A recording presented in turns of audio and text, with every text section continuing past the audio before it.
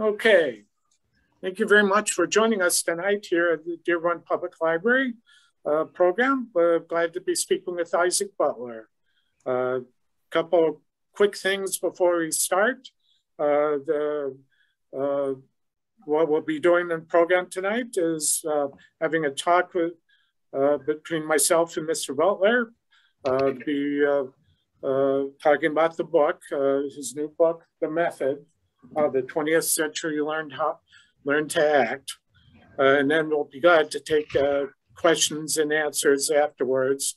So either through the chat or you could unmute yourself.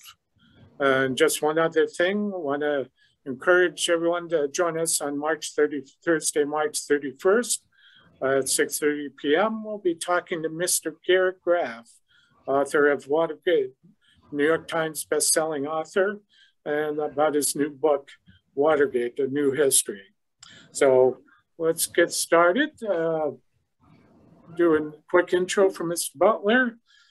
Isaac Butler is a co-author with uh, Dan Kois of the world's uh, well, of this book, I should say, uh, of uh, the method of how the 20th century learned how to act. His previous book is The World Only Spins Forward, uh, co-authored with Dan Kois. Uh, it's about the ascent of, ascent of angels in America, which NPR named one of the best books of 2018. Uh, Mr. Butler's writing has appeared in New York Magazine, Slate, uh, The Guardian, American Theater, and other publications. Uh, currently, he's, he hosts a podcast about the creative process called Working. Uh, he also.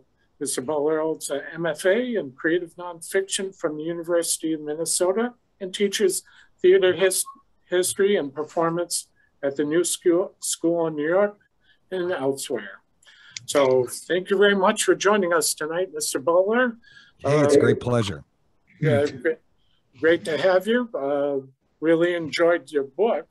And I guess probably the best, I thought the best place to start is uh, how, what's the definition of me method acting?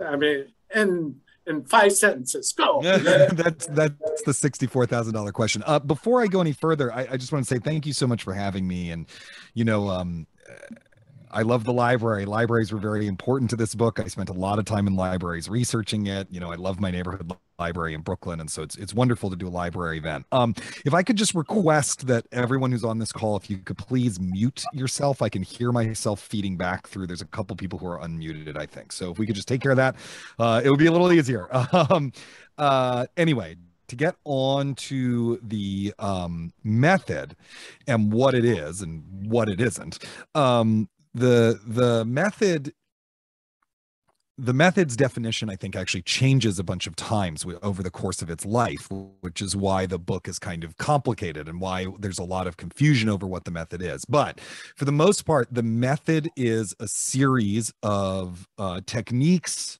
approaches ideas theories uh, based on the ideas of the Russian director, actor, and teacher Konstantin Stanislavski. And those ideas come over to the United States, and then there's many different versions of how those ideas are adapted in the United States. The one that is called the method is the specific adaptations by Lee Strasberg, who was an acting teacher, director, and late in life Hollywood actor. And um, they are very, very focused on the internal mechanism of the actor, on individuality and idiosyncrasy, on the using yourself digging really deep into your own psychology and emotionality and using that to uh, create the character. Now, you, you talk about in the book uh, about the different acting styles, styles before uh, Stanislavski and uh, his partner, how they came up with this system. I guess what I was kind of curious because what was the acting style before they came up with it? Because it almost sounded like they were, uh, the actors were like reaching for the back row. Uh, yeah. Saying, uh, like saying, like, I am emoting back to the road. Yeah, I mean, to some in some instances, that's really correct. There was actually, you know, in Russia at the time, there were a number of different competing acting styles, some of which were more presentational, and some of which were more mumbly and naturalistic. But um, but they were all styles. It was all about externalities. And um, that's even true when Stanislavski founds the Moscow Art Theater with Vladimir Nemirovich Danchenko. And Nemirovich Danchenko and Stanislavski are trying to build a theater that is more naturalistic with a unified acting style with productions where the design are unified around the ideas of the director. And th- those were all relatively new ideas. Prior to them uh re- play would be rehearsed in russia for like maybe nine times. They often didn't have directors. They often didn't have dress rehearsals. The sets they were doing it in front of were stock sets pulled out of storage and they were very presentational and oratorical and kind of about about showing off. Um, then the Moscow Art Theater arises to kind of pioneer a new, quieter, more internal, more realistic, naturalistic style. A few years after the Moscow Art Theater is founded, Stanislavski has a kind of crisis of faith in his own abilities as an actor. And that leads him to start developing this thing called the system, which then goes to the United States and becomes uh, the method. Uh, the system is really the first way, uh, the, the, the first technique of uh, training the interior of the actor, the creative spirit of the actor, using the actor as material. Before then, it was all external. And what Stanislavski was trying to do was create a system that would train and use the internal mechanism of the actor as well as the external one.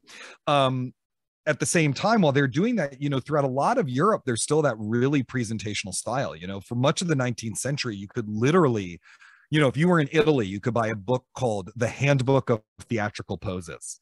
And it would say, well, if you want to express grief on stage, you should do this. and then you could sit there and practice it, you know, until you figured it out.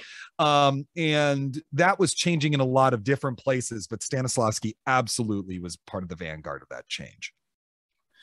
And uh, uh, he worked with uh, uh his fellow partner uh, to you spend like a day uh, coming up, uh, like a whole dinner, a whole lunch, lunch that went into dinner and came up with a system. Uh, now, the actors, I mean, it was hard. How, how did the actors react to this new system? Well, originally, they're not doing the system. That happens a few years later. When they're founding the theater, they're trying to find actors who agree with them. They want like minded actors who want to do more who want to take acting more seriously as an art form and who want to take literature more seriously the literature of playwriting and so they all um for the most part, it was all right. It goes okay. There's a couple actors who aren't into it, and Stanislavski kind of, uh, well, he just kind of forces them to do things in a more restrained way, and it's it's it's very successful. Um, but once Stanislavski starts pioneering the system, and particularly once he starts using the rehearsal hall to experiment with his acting theories, the um, actors at the Moscow Art Theater get really pissed at him. They don't want to do it. They're established actors. They're famous. They're very skilled. They're very good at what they do. They already know what they're doing. They don't feel a need to experiment. And so Stanislavski turns to the younger generation of actors, the people who are kind of, you know, the interns at the Moscow Art Theater, the apprentices at the Moscow Art Theater. Um, he turns to them and he says, Hey, you know, why don't I train you in this? And they get very excited by it. And uh, but it uh, he really re- rehearsed them a lot. Uh, there was uh, there was uh, one of the plays he rehearsed 180 times, I believe yeah. you, you said. He rehearsed Hamlet for three years. I mean, he really was going off the deep end with this stuff, you know. And for anyone who's ever done you, if you've ever done theater professionally, you know, if you're listening to this, you know, like you, you rehearse it for four weeks. You, the idea that you would rehearse a play for three years is, is just sounds like madness to me, anyway. But he came up with uh, some innovative ideas like the fourth wall. Uh, how do you half sets almost to to uh, bring in people's imagination Mm-hmm. Uh, uh, different innovations like that, uh, which are quite remarkable. Yes, he was an incredible innovator. And, you know, even before he starts working on the system, he invents what became sort of the modern rehearsal process. You know, the idea that you would sit around a table and deconstruct the play together and figure out what every line means collectively, literally around a table. It's called table work. That's something we do to this day in the United States. Uh, you know, his original rehearsal process that was sort of evenly divided in fourths between table work staging the show, refining the staging, and then doing run throughs to kind of fine tune everything. That's how most plays are rehearsed today. You know, he um, really pioneered what a director could do in terms of having a unified vision of the play that's reflected in both the performances and the design. Um, he invented to some extent the idea of the permanent ensemble. So the Mas- Moscow Art Theater, all the actors were full-time employees of the theater and they rehearsed together, they trained together, they went away on summer retreats together. You know, they they really shared a common goal of what they were all working towards. And um you know that that that became a huge influence beyond the Moscow Art Theater. Once he starts working on the system, he pioneers a lot of other stuff that's very important to this day. The modern way that we break down scripts, that we think about how dialogue works, that we um, think about how dramatic action works and how stories are structured on stage and really on TV and film as well. All of that comes from Stanislavski, and that's all stuff that he figures out while working on the system.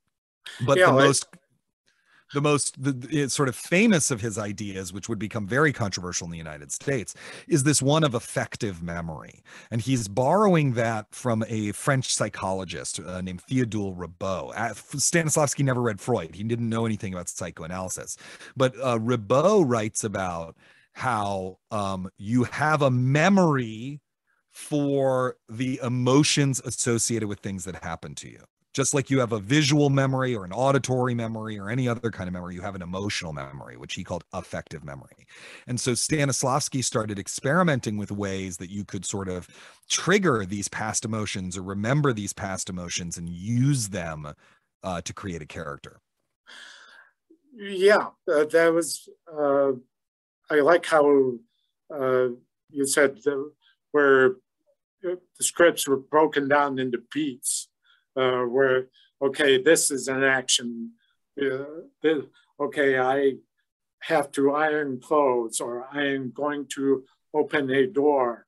Uh, sort of like, uh, it's like a puzzle piece. This after this after this. Uh, but um, I just, that was one thing, uh, that's one thing about the whole method. I just would, I can't if I brought up, say, like the death of my death of a loved one, how I felt like this, and you keep doing that, and you keep doing that, and it's it's to me it almost it's almost like you're preventing yourself from getting old, adjusting to it, uh, saying, getting through it, saying, okay, this happened, but having to bring it up again, it just after and after, yeah. that's such a challenge you know, there are two, excuse me, there are two, sorry about that. There are two dangers of sitting here talking to a microphone all day. The, uh, there are dangers, um, there are two dangers with affective memory that people um, figure out pretty early on and then consistently criticize the practice and still do to this day. One is that that you're preventing meaningful catharsis in your own life, right? That you're preventing um moving on. You're dwelling in all the muck you know um and that there's something a little un- there's something potentially unhealthy about that. But the other problem is that what if you use that memory over and over again and you kind of wear it out and it's not useful anymore to you? Like the emotion goes cold. Do you know what i mean?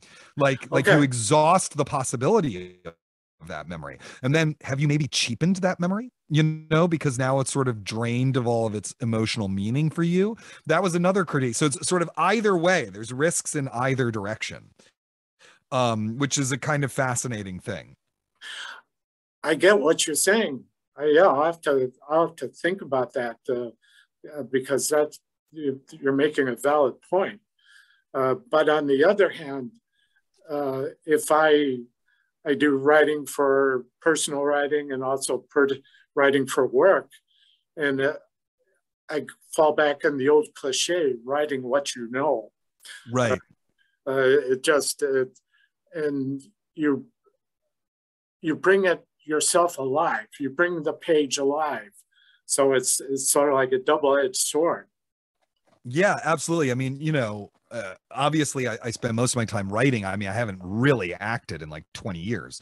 Um, but uh, I was a director for a while after that. And then now I, I spend most of my time writing. But, you know, yeah, any creative pursuit has its emotional component i think you know and figuring out how to manage that emotional component is is a major part of the journey of being an artist of creating something you know i've certainly written things that called up really difficult emo- I wasn't doing that on purpose. I wasn't doing exercises to feel that emotion, but just writing about something will call something up and it makes you feel this really complicated, difficult way. And you know, do you let that ruin your day? Do you take a walk around the block? Do you, you know, what what do you do? Yeah. How do you handle that? How do you manage right. that? I mean, that even happened a couple places with this book when I was writing about the death of Stanislavski. When I was writing about Stanislavski's death, and shortly after he died, one of his proteges um, was arrested by Stalin's government and just disappeared to the Great Terror. He was in the Gulag for like six months, and then he, I think he was beaten to death. I mean, he died really terribly. Um, uh, you know, I, it's just like a one page part of the book. I wrote it in one sitting, you know, the normal way. It's not like I was calling up the emotions. I'm just sitting there typing, typing, typing, typing, typing. And then, uh, but when it was over, I was really upset. It was made me really sad to write about Stanislavski dying. I mean, he led a very good life. He lived to be very old, you know, but, but it was still, it still moved me in a weird way to think about. Oh, that's interesting. Yeah. And uh, I mean, uh, and then Stanis, back to Stanislavski, thought, tried to uh, get get at the God particle, to the the way the creative uh, uh, feeling, creative force in everybody. I guess maybe that's and correct me if I'm wrong. That's what the system was kind of after. Yes. Yeah. Uh, totally. and uh, and how how everybody to get at that. And, and some, sometimes it was, I imagine it was hard for people. Very hard. You know, so where the system begins is Stanislavski has this crisis, and the crisis is a very normal one that happens to actors all the time. He's on stage, he's doing a part, and he's just doesn't feel any of it. You know, like he's going through the motions, but it has no soul most actors would be like, yeah, that happens every now and then. It's called a matinee. Like it's, it's like just just go back to work. But Stanislavski, that was a who was a relentless perfectionist and was so hard on himself. He just couldn't accept that, and so he wanted. He basically realized that one of the things that separated acting from other art forms, and I should say that one of his, you know, real things that he's doing during his his life is trying to argue that actors are artists, are they're artists in their own right which was a controversial opinion then. Um, but unlike a painter or a writer, you know, we're, we're writers, right? So it's like if I sit down at the computer in the morning and I'm not feeling it, I can go do some other stuff and come back until I am feeling it.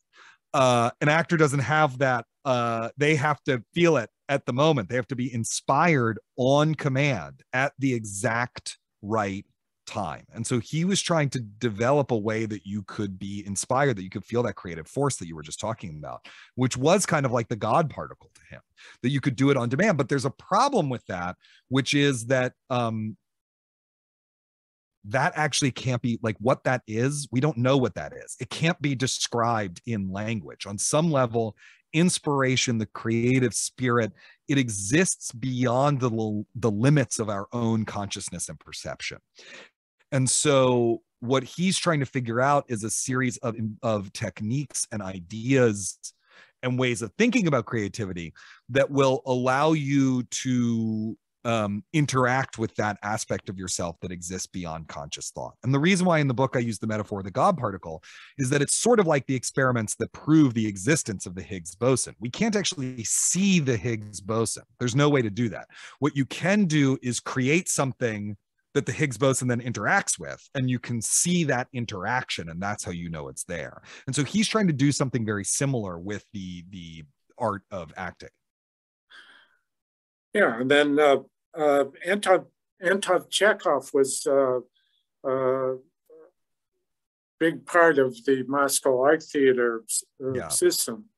Uh, and one of the big, biggest productions of his plays was the Seagull. and he, he also, they also did the Uncle Vanya and I believe one other play. And it was, and it was interesting how, how you, how you put it, how you started off. He, he wasn't a, uh, a well-known well-known author. He's kind of disheveled. He's all uh, and uh, and uh, he's his plays are bought to get. His plays are are heralded by the by the theater, and they're very well uh, produced, famous productions to the point where the insignia of the Moscow Art Theater is a sea- seagull. Yeah. Yeah. So. Yeah. I mean, it's interesting. Chekhov was an acclaimed prose writer of short stories and novellas. Um, and of course was also a country doctor, but he was he was an acclaimed, beloved writer of short stories and novellas, but he was not taken seriously as a playwright um, prior to the Moscow Art Theater. He had written some plays, but one of the reasons why he was not taken seriously is that he had this play, The Seagull. And the first production of The Seagull, I, I go into kind of the whole story in the book, but the shorthand is, you know, it's one of the most notorious critical flops in the history of Russian theater up until that point.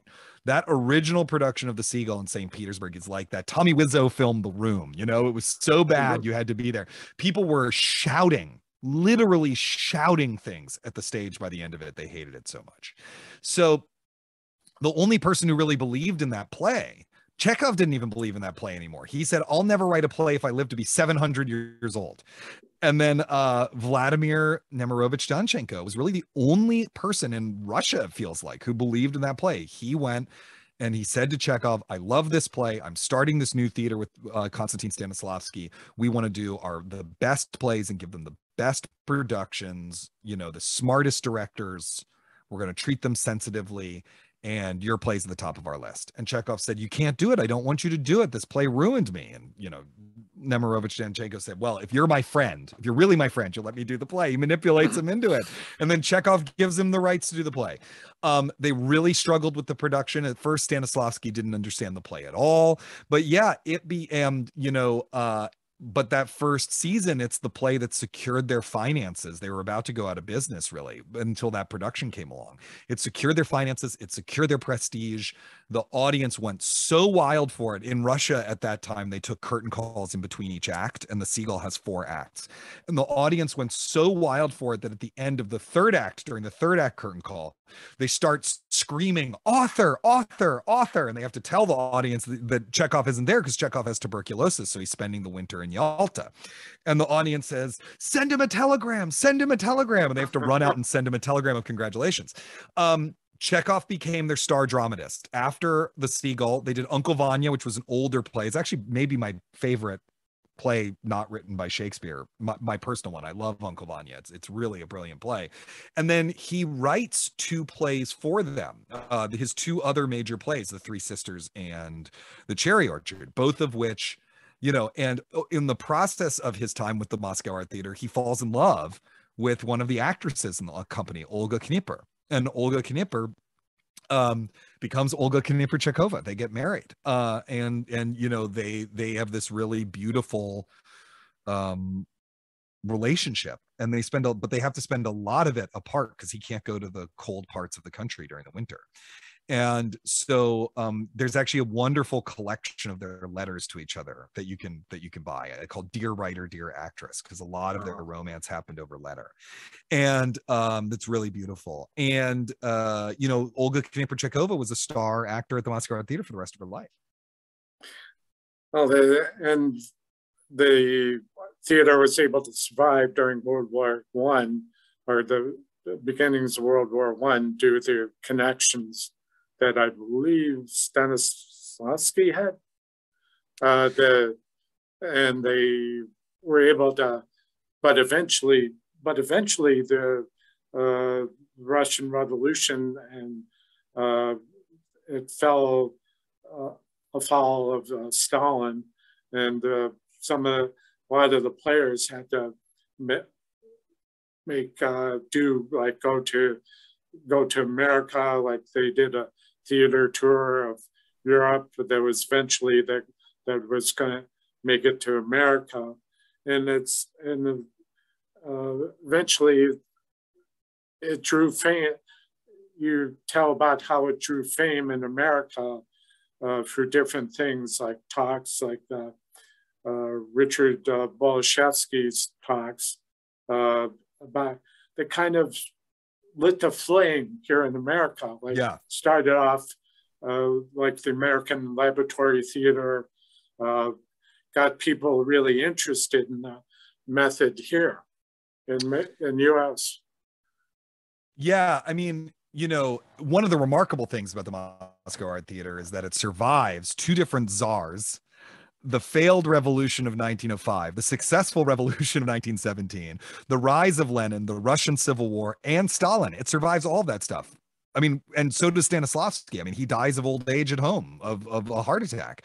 Um, it's a remarkable it's remarkable that that theater and that most of the people associated with it survived but the political currents affected the theater in a number of different ways. You know one of the ones before they got to america is some members of the moscow art theater were on tour when the russian civil war started and they got cut off from moscow by the white army by the anti-communist army and they wound up separated from the moscow art theater for literally years. You know they yeah. uh, went to prague and started their own theater company in prague called the prague you know group of the moscow art theater. Anyway richard boleslavsky who's a protege of stanislavski's. Um, and a director and actor very successful within the theater at that he is an officer in world war one he's a sir he's a polish lancer boleslavsky came from poland yeah. you know he he serves in the polish lancers and when the revolution comes, he escapes back to Moscow, where he lives under his stage name, which was Boleslavsky. He had a Polish name that he enlisted under, so that people wouldn't know that he was an officer in World War One, because Russian, you know, Russian army officers in World War One did not last very long after the revolution, and uh, he was not a communist. And once the civil war starts breaking out, he and his wife flee the country because they just realize eventually he's going to be denounced to the authorities. He's probably going to be arrested. And so they flee the country, they bounce around for a while, and they wind up in America. Um, shortly thereafter, a couple years later, the finances of the MAT are very bad. Um, political currents are kind of turning against them. And so they decide to go on tour of the United States and they bounce around Europe for a little bit and they go to the US. And it's sort of hard to oversell what a huge impact the first year of their tour in the United States made. They stuck around for a second year and they overstayed their welcome and that didn't work out. But that first year, everyone it was like the Beatles, you know, landing at the airport with the girls screaming and going on Ed Sullivan. It was kind of the equivalent of that. Their first performance on Broadway gets a 30 minute standing ovation. if you've ever seen a play with a standing ovation? It's usually like two minutes mm. long, right? So yeah, imagine yeah. that, but for 30 minutes, you know, they're just taking curtain call after curtain call after curtain call. They become pop culture figures. And everyone wants to know, well, how is this company doing this amazing stuff? And the answer to some extent is the system. So Boleslavsky, with Stanislavsky's permission, starts giving lectures in what the system is and what it includes. And very soon that turns into a school called the American Laboratory Theater, which only lasts for about 10 years. But in those 10, actually less than 10 years, seven years. But in that, maybe even less than that. But every time I say it, it's going to get smaller and smaller. It lasted six months. No, it lasted a few, you know, it lasted for about, uh, let's say, seven years. And in that time, it trains a bunch of really important teachers and actors and directors who would go on to spread the, the gospel of Stanislavski throughout the United States. And a few of those folks found the group theater. Um, and the group theater in the 1930s is really where the method is born. Lee Strasberg uh, is the co-artistic director of the group theater, along with Harold Clurman and the producer Cheryl Crawford. And th- that is really the environment in which the method's born. Yeah, that's uh, uh, it's was a, well, a number of interesting things uh, uh, that uh, Aaron Copland, who I love his music, was roommates of Harold Clurman. Yeah, they were cousins and lifelong best friends. Claire, uh, Copland was the best man at Clurman's wedding um you know they they met they were cousins by marriage so they didn't know each other growing up but they met as roommates in paris because Clurman had gone to the sorbonne and uh clermont uh Clurman sorry had gone to the sorbonne and Copland was there studying composition. Yeah the uh, all these famous people started uh started in this group yeah i mean everyone's got to start somewhere right oh yeah but yeah yeah right uh, and uh, they go off to, uh, I believe it was Connecticut, to come up with plays of their own. The, at least the first year, I believe, and it wasn't there was one successful one, but for the most part, it was. I just remember you mentioning how, a lot of arguing. A lot of arguing, yeah so they the group did a series of summer retreats they would do their season and they would go away for the summer to work and train and rehearse and uh, think through their mission and stuff like that. And the first one is in Brookfield, Connecticut, and uh, they actually kept a diary of their time there, which is in the Library of Congress. And so I've, I've read wow. it, uh, which is really so you get to see minute by minute what they're doing. And there's weird ongoing jokes that start developing, and of course, people are starting to pair off and have sex yeah. and you know become you know two of them get married not that long after you know so so all that ferment is in that diary. And um they you know they really alternate success with failure. They often have a success and they have an, uh, an immediate flop you know? Um uh and they have a couple of really big hits. Uh the first one is sidney kingsley's excuse me sidney kingsley's men in white which wins the Pulitzer Prize uh, and runs runs for so long that it becomes the first play on Broadway to compete with the its own film adaptation. Like it runs wow. for so long with a film out of it. You know, they um, and of course one of their members is Clifford Odets, you know, who starts as an actor and then becomes a writer within the group. And so they were the launching pad for Clifford Odets and those really brilliant, you know, Awake and Sing, Waiting for Lefty, uh, Paradise Lost, Golden Boy, you know, his four best plays uh, happen within the group. So, um, but yes, as you said, a lot of my book is about the arguments that they have because they argued constantly. They were com- comfortable with a level of conflict that I think we would be shocked by. They just spent if they disagree with each other they just get into a screaming match about it and then they go back to work so they were just fighting um fighting constantly you know they were just fighting all the time. And some of those fights were meaningful and lasted for the rest of their lives. And some of them were just that day's argument. I mean, they were also, they did not have the same boundaries we would expect between personal life and professional life. They were also all drinking a lot. So there's a lot, you know, of, and it's young people and their creative ferment. So there's a lot going on between them during that time period. And that the, uh, and they have another season uh, and then they bring, and then they sort of go their separate ways uh, yeah. because because they they each uh, have their own interest and they just yeah. they they they they uh, go off uh, uh, do these roles, do theater, and uh, I remember uh, Franchot Tone. He went off. He said, "Oh, I'm going Hollywood." I'm going to go to Hollywood and marry a famous actress. And then he did. He went to Hollywood and became a star and he married Joan Crawford. Oh, wow. I didn't know yeah. that. that part. Yeah. And actually, he, you know, um, yeah. So the group starts peeling off members who go to Hollywood pretty quickly. Franchot Tone lasts a couple seasons. A guy named J. Edward Bromberg lasts a couple more. There's a point where they all get um, really fed up with being in the group and they take a six month hiatus. And during that six month hiatus, a whole group of them haha, a subgroup go to Hollywood. Stella Adler, Harold Clurman, Lee Strasberg, Elia Kazan, uh, you know, and a bunch of others go to Hollywood. Morris Carnovsky, Phoebe Brand, a bunch of them go and they sort of take their screen tests and they the many of the Jewish members get nose jobs and they change their names and they start acting in films and, and all sorts of stuff. But then a group, uh, uh some of those folks come back and go back to the group. Um, Clifford Odets, of course, became a Hollywood screenwriter. Um, John Garfield uh, quits the group um, and becomes the first method movie star in the late 1930s. But then when the group cracks up for good, because that company lasts a decade, when it cracks up for good, a lot of those folks go to Hollywood and they became incredibly important and influential in Hollywood. The most important and influential of all is, of course, Elia Kazan, who over the course of the 40s and into the 50s becomes the most important and arguably the best American stage and screen director simultaneously, something no one has ever done before or since. He's the best at both of them. He's the most important and well respected at both of them at the same time, which is a truly remarkable feat. Uh, and he really helps spread the gospel of the method at Stanislavski, you know, as he's doing that. Uh, as a theater director yourself, uh, how, I guess, how how would the that and a film director be? How the, would their?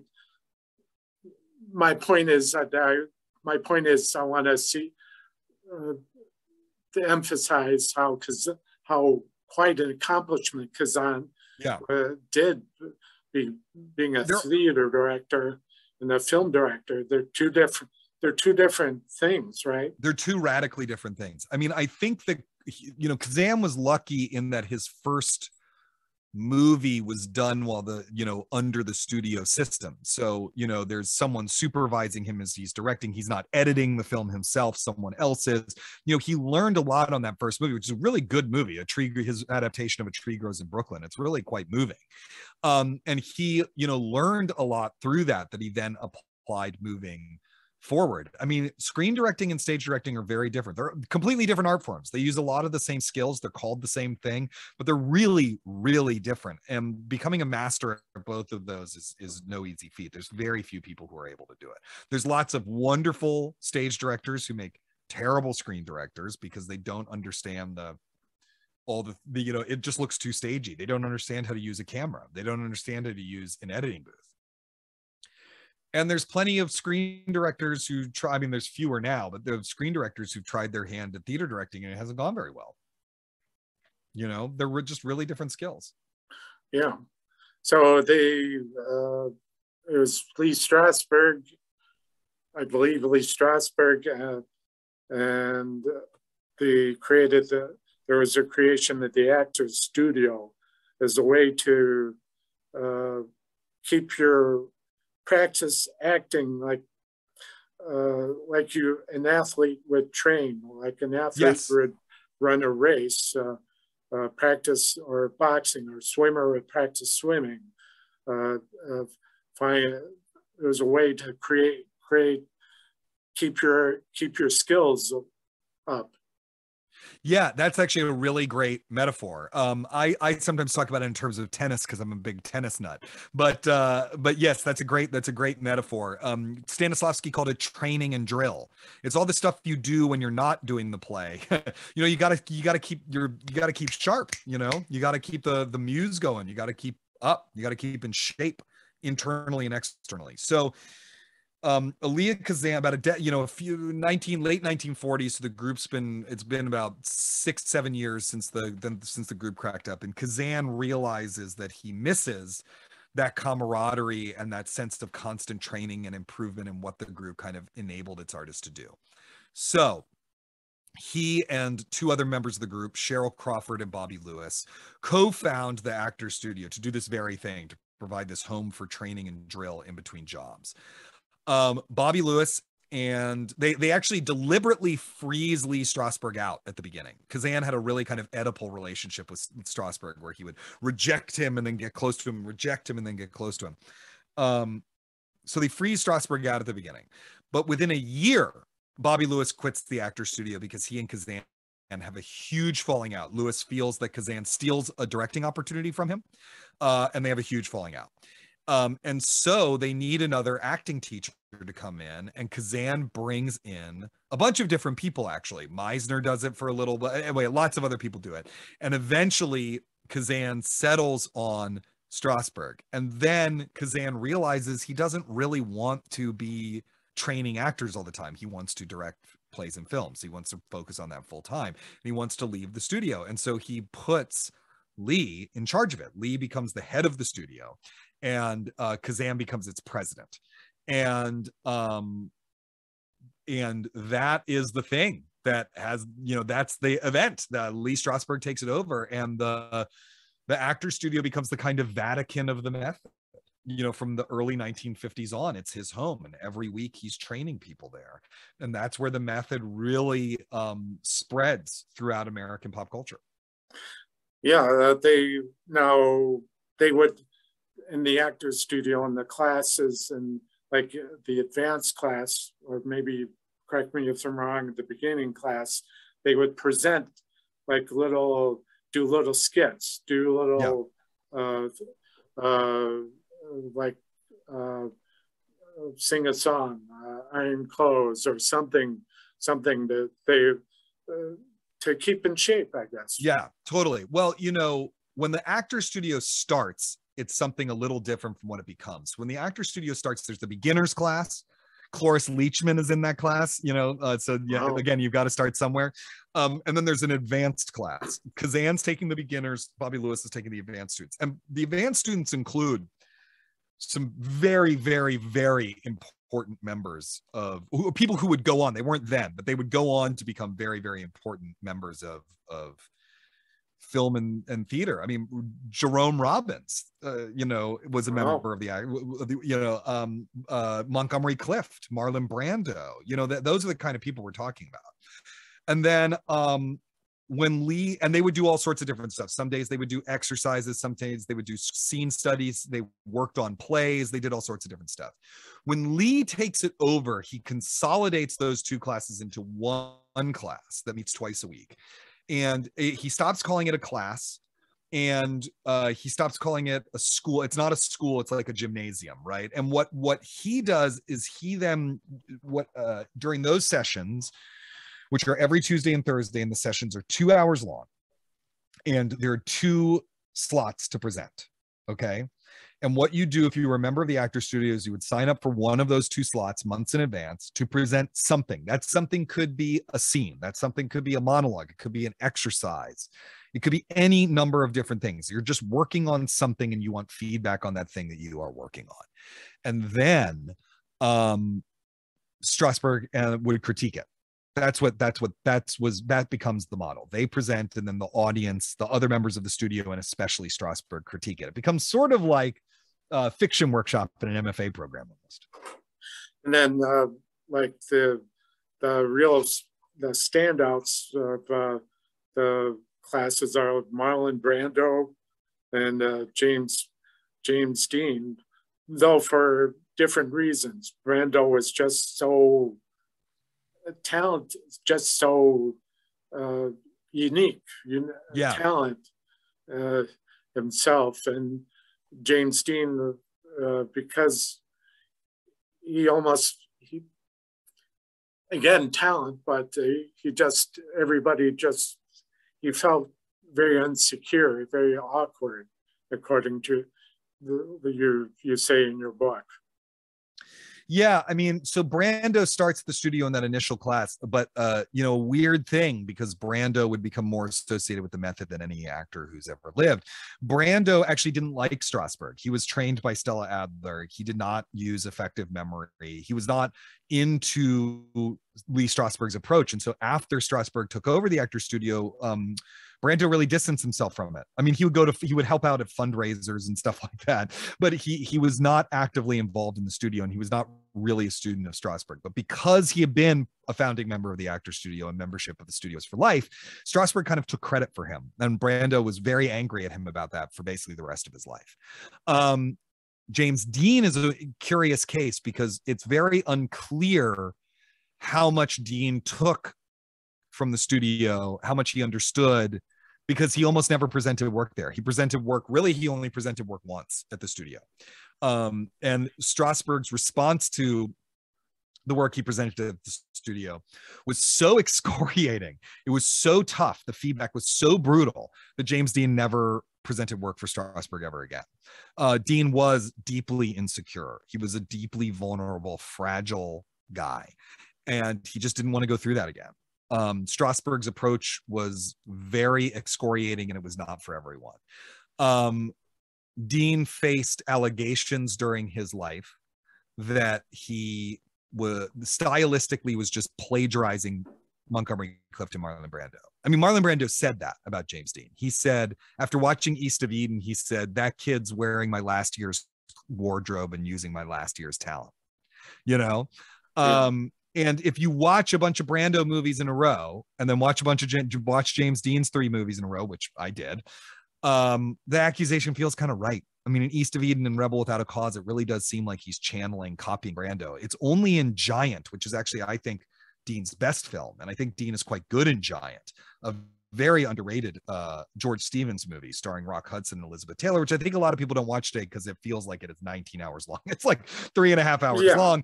You know, it's a beautiful movie though, and James Dean is quite good in it. And I think that's the thing that points to the future that if Dean had you know, assuming he didn't drink himself to death, that he could have been a really interesting special actor. But I think at the beginning, he's, you know, a young guy imitating the older generation in a way. And then uh, uh, you point out how the library, Hollywood studios would sell their past libraries to the license to show movies on, on TV. And there was a great demand for uh, drama uh, programs in response to it. Now, how all these uh, uh studio uh, studio acting got there was quite a demand for it. Uh, uh, Paul Newman, uh, Martin Ritt, Rod Steiger. I didn't know he started the role of Marty. Uh, all these yeah. all, the, all, these there was such a demand that the uh, the normal looking uh, person, the normal, it became normal. The me- yeah. method was accepted, was normalized. Yeah, I mean, you know, it's a very important step in the method's history that I think is kind of overlooked because there's a way in which we've really neglected the live TV drama movement, which was short lived, but was really important. It only lasted, you know, its heyday was only about four years long. Um, but yes, so the movie studios are licensing all their back catalog to show on TV. And um, that has a couple of effects. One of them is that people who grow up in that era, directors like the Coen brothers, for example, you know, they grow up able to see all sorts of movies on television, all sorts of classic film. You can get a film education by sitting in front of your TV at night, you know. But the but the other thing that happens is um networks start to try to figure out uh, stuff that they can license to the stations that will compete with it you know because the studios are licensing to the individual stations uh, and so the networks need their own material and they come up with this stuff that's live tv drama. So they're repurposing radio studios as sets and the things are filmed and broadcast live which is why a lot of them don't survive to this day because they weren't recorded. Um uh there were there until some of them eventually were recorded but you know it's not like people were they, they're being broadcast. They're not being dumped onto film you know? They wouldn't it's, think to it yeah so there's people literally the way they were recorded is you they pointed a 16 millimeter camera at a screen that's showing it that's that's how they've been preserved the ones that have been preserved um, method actors were absolutely key to this movement. The members of the actors studio were really really dominant uh, in the live TV drama movement for a number of reasons. One, live TV dramas were in New York, and the actor studio was in New York, and all of those actors were in New York. Two, a lot of those actors were quasi, not officially, but quasi blacklisted, so they couldn't work in Hollywood and so you know they were working in new york and and this was a way for them to they weren't officially on the blacklist they just it was just known that you couldn't employ them because people thought that the actor studio was affiliated with the group and so there was something quasi communistic about it. um but also the thing that method actors were really good at was improvising and staying in character no matter what was going on around them. And live TV drama, there's all this schmata going on around you. There's cameras moving literally the only way you would know that the camera wasn't showing on you anymore is that a stage manager would crawl over and tug the cuff of your pants like that. and then what you would do is you would run, run, run, run, run, run to where your next scene is. And you're throwing your clothes off and putting another thing on. Then you have to come in and be in character and give a good performance. And that was something the method actors truly, truly excelled at that. And so they really took over. And the, the king and queen of live TV drama were actors, to two actor studio members, Rod Steiger, who went on to win an Oscar for uh, In the Heat of the Night, and Kim Stanley, who only made six movies. Um, and so her legacy is kind of lost a little bit. Um, but Kim Stanley was in the middle of the 20th century regarded as the greatest living actress, particularly on stage. She was the female Brando. That's what they called her. Yeah, I remember uh, uh, Frances. Uh, I wasn't she in yeah. Frances? She was yeah. in Frances. She plays the mother. She plays the mother in Frances, and uh, Jessica Lange plays uh, uh, Frances. Frances. Yeah, and um, Jessica Lange was her acting student. Wow! So you're actually getting to watch an acting teacher and an acting student work together in Frances, and then they did it again in Cat on a Hot Tin Roof. Wow! Yeah. It, one of the great things I uh, took from your book was that I had a view of method acting, which is about this, but in reality, it's like a family.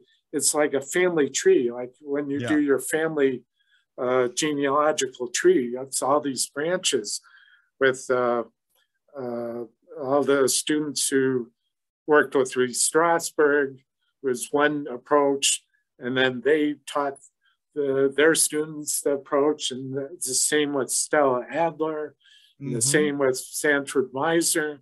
All these, uh, it was, yeah, like a branch that had, for the most part, the method maybe at the at the core of it, but different approaches of it. Yeah, yeah, absolutely uh, Stanis, the Stanislavski system gives birth to a bunch of different ideas of acting training in the United States. Um, and they're, um, it might feel like the narcissism of petty differences or something, you know, there's a lot of infighting between these teachers.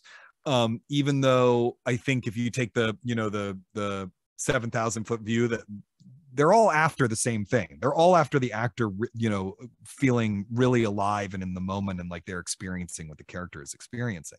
But their methods of getting there very, very different. Lee Strasberg's focused on psychology and emotion in the interior of the actor. Uh, Stella Adler is focused on research and script analysis and the imagination of the actor. Sanford Meisner is focused on um, how to get the actor to kind of forget that they're acting and to just be alive in the present moment and spontaneous and responding to what's happening in front of them. Um, Uta Hagen uh, and Bobby Lewis are both sort of hybrids of these different approaches.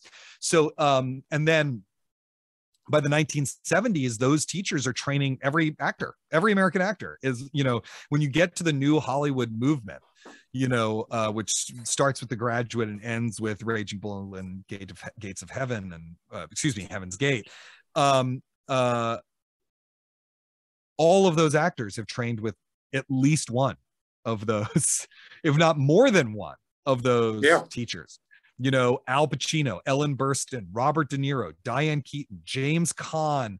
Um, you know, it's very hard to find an actor who didn't train with one of them. Uh, you know, Altman tends to use actors who weren't, but almost everyone else is using people who were trained by by by one or both of those teachers.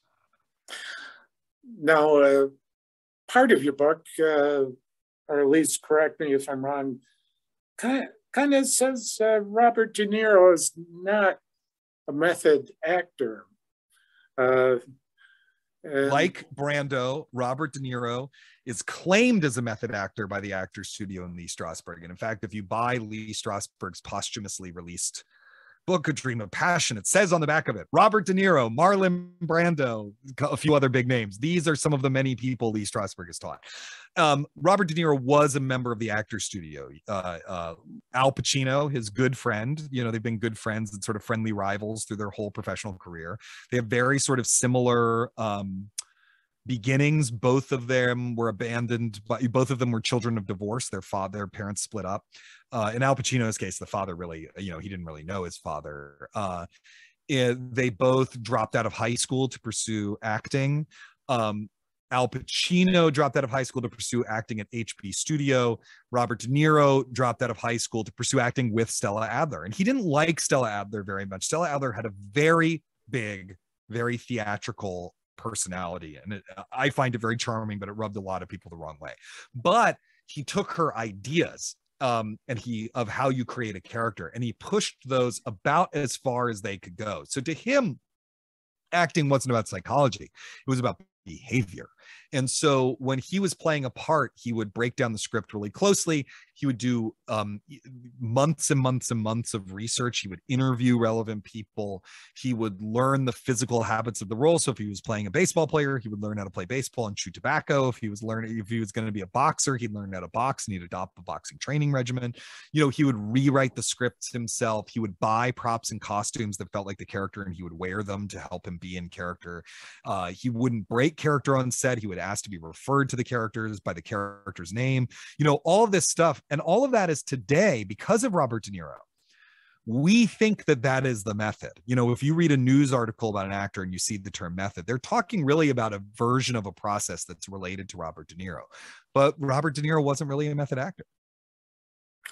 Yeah, like uh, how Benedict Cumberbatch in the uh, Power of the Dog movie. He, yeah, he he uh, kept in character so much that uh, Jane Campion said, "Oh, you'll meet Benedict after the movie. He's a nice yeah. guy." Which or, is sort of similar to you know Michael Moriarty, who um, co-starred in Bang the Drum Slowly with Robert De Niro, went to visit him on set of Taxi Driver, right? And someone yeah. said something about you know, oh, uh, um, you know, what's it like seeing your he's and he said something like, I don't know that man. That man's Travis Bickle. You know, I know Robert De Niro from Bang the Drum Slowly, and he's a completely different person now because he was so in character. So yeah, I mean, it's a very similar kind of thing. And that's what uh uh before reading your book, that's what I that's the kind of uh, uh, thing I had in mind as yeah. being a method actor Totally. I mean, that's what the public thinks the method is. And, you know, I don't want to be pedantic about it if that, that's real everyone that's sort of the public definition of it, you know. But I do think that there is another definition of it, which is the kind of private one, the one that like if you actually took a method acting class, what you would actually learn, which is mostly Strasberg's technique. And I like uh, your theory uh, that you kind of touch on in the book how acting styles kind of refer reflect the current time, uh, yes. like like how uh, Montgomery Clift, uh, uh he and similar actors were current were popular at that time. Uh, Dustin Hoffman mm-hmm. Uh, in the late '60s and early '70s, how they reflect like normal people. And now it's, I think you said something like a, a, a acting style that there's a lot of almost like muck, I think, or, is, or just uh, they, and acting styles now want to bring that out to, to make sense of it. Yeah, I mean, I think that's really the project of American filmmaking in the 70s is that we're discovering this really gross underbelly of Nixon's America, you know, of America under under Nixon and during the Vietnam War and during uh, Watergate. And then you have the Church Committee, which starts uncover in the Senate, which uncovers all of these truly shocking crimes against its own people that the U.S. government was doing. I mean, to give one example, um, the U.S. government was um, trying to pioneer mind control and the way they were doing it was um, taking unsuspecting civilians who had sought psychiatric care and uh you know giving them lsd against their will. You know that's one of the that's and then they would put them into comas to see what would happen to their brain. I mean that's the sort of thing that so uh, american filmmaking during that time period is really interested in making sense of and finding the truth. And so it's digging down deep to find the truth which is what the method is. After that um, particularly once Reagan is the president and we sort of try to, you know, make America great again, which was a slogan that he used at one point. Um, Hollywood, anyway, gets less interested in that project of telling the truth. Um, and the acting styles begin to shift. When you look at today, part because all of those charismatic gurus, Stella Adler, Lee Strasberg, and the rest are all dead. You know, it's hard to maintain a, a dogma when your when your original prophet has died, right? And yeah. so, uh, and and we live at a time in our, our culture where there isn't consensus about any aspect of American civic life and so there's no consensus about acting either so what you see is a lot what what you see is a lot of different styles a lot of different ways of approaching acting and making a character and a lot of different ways that that can look and i actually find that very exciting i think diversity of approach can be really thrilling i'm glad that we live in an age where you can see someone as anti-realistic as Nicolas Cage, right? And someone as uh um you know technically accomplished as Meryl Streep and someone as you know realistic as Oscar Isaac. You know, I just like that we live in an age where all of these things are happening at once. I do think that that is exciting. Well, as I come to the end of our, of our talk, or at least uh, uh, the hour time, so I want to do a Q&A session.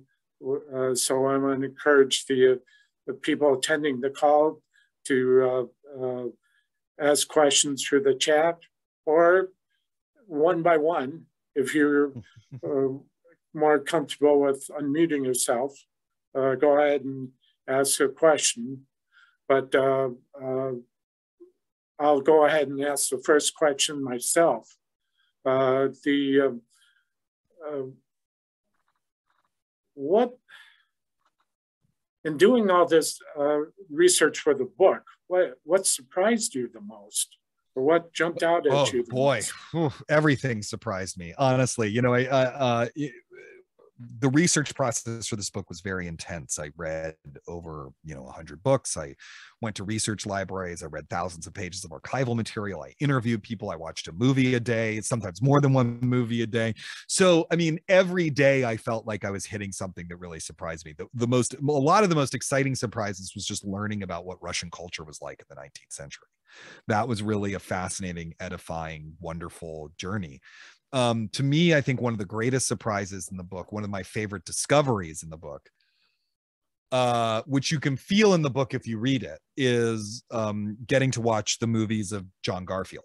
Um, who is the first method movie star and is a truly brilliant actor. He's also very sexy, which makes those movies kind of fun to watch. But you know, he's a truly, truly brilliant actor who starts with the group He's a, a, a, a Jewish actor who um, his original name was Julius Garfinkel, you know, and he becomes the first major method movie star. His career is ruined by the blacklist. He dies at a very young age of a heart attack while under investigation by HUAC. But he made a bunch of really, really, really, truly great movies, and um, he is wonderful in them uh, he's wonderful even in the really bad ones. and so getting to watch a bunch of his movies and learn about his work and his life was probably my favorite discovery. And as a theater director, do you often uh, work with actors that have different approaches? Yeah, everyone has a different approach you... today. Yeah, yeah, everyone has a different approach today. And so, what you have to do in the rehearsal room is figure out how to talk to each individual actor in a way that they will understand what you're saying and respond to it. So, a lot of times, directors, including myself, will talk about, you know, so what do you think's going on here? You know, you're not going to say, why don't you do a sense memory exercise or whatever? You're going to be like, so what do you think the character wants here? You know, let's shape this. Let's talk about what the end goal is. And then you let the actor bring their own training and their own approach to realize that end goal. You Makes set sense. the task. You let them figure out how to achieve that task. That's really the only way you can do it unless you have what the group had, which was a fixed ensemble of actors who all have the same vocabulary, and then you can use the same, uh, you know, argot back and forth. Uh, Mary Jo, I see your thing in the chat, and and uh, uh, you're welcome. I love that movie. You know, I watched. Uh, uh, yes, that is John Garfield in Gentleman's Agreement. Uh, Mary Jo is asking, um, which Kazan directed and won uh, uh, um, the Oscar for. Um, Gentleman's Agreement. Yes, John Garfield is the Jewish friend in a Gentleman's Agreement. It's one of the only movies where he explicitly plays a Jewish character. He often plays a ethnic immigrant, or there's he's sort of coded as ethnic, but they rarely say that he's Jewish. And he actually took a big pay cut because he was a huge star. I mean, he was a huge star when he made that movie, and he made it for scale. He made it for union, the union scale weekly wage instead of his normal asking price because he cared so much about its um, message about uh, anti-Semitism in polite society that he just wanted to help it get made by having his name attached to it. Uh, then, when it was time for Kazan to direct Streetcar Named Desire on Broadway, uh, the producer Irene Selznick wanted John Garfield to play Stanley Kowalski. And John Garfield, because he had just made this movie with Kazan for next to no money, he wanted now he was like, well, now's my payday. And his salary demands were so great that um, the negotiations broke down, and that's why Marlon Brando played Stanley Kowalski in the original Broadway production of uh, Streetcar Named Desire. And that was quite that was quite a, a a lot going on in the production because of the different approaches between uh, uh, Marlon Brando and Jessica Tandy. Yes, uh, yeah, absolutely. Fireworks, fireworks. Yeah, yeah, totally. Um, Lori Scott is asking about uh, was method acting an attempt to help the acting arts catch up with the depth, ambiguity, paradox of seventh century painting, Rembrandt, Caravaggio, 19th century lit Tolstoy, Dostoevsky. Um, that's a really interesting question. I will say that all of those acting teachers, Stella Adler in particular, really loved all those artists that you are that you mentioned there. And she, you know, Stella Adler has this really great way of describing what she called modern acting, which is the umbrella that method acting falls under, which is that modern acting is about bringing that sense of depth ambiguity and paradox into because that is what modern playwriting is doing starting roughly with ibsen and the naturalistic writers of the 19th century that they are about people who on some level can't be under do not understand themselves and cannot be understood. And those people are facing problems that can't really be solved within the confines of the play. Like at the end of Hamlet, everyone is dead, right? So like the problem of Hamlet is solved, everyone's dead. At the end of A Doll's House, Nora walks out on Torvald, but none of her problems have actually been solved, right? So because the problem of the modern human being is modernity itself. And so this was an acting style and acting technique that was in part to help express those literary ideas through the actor. Does that make sense? Hopefully that makes sense but that's what Stella Adler really thought they were doing. Um, and I find that very moving as an artistic project. Good. And uh, anybody else have a question for Mr. Butler? Okay. I think well, I think, want to thank you very much for your time. Uh, this, I really enjoyed your book. I'll uh, talk it up to people I know. It's available. Please do. It's available everywhere, uh, uh, especially at the Literati bookstore in Ann Arbor. And uh, thank you very much and have a good evening. Thank you so much for having me. And thank you everyone for attending it. It was a good talk. Good night. Good night.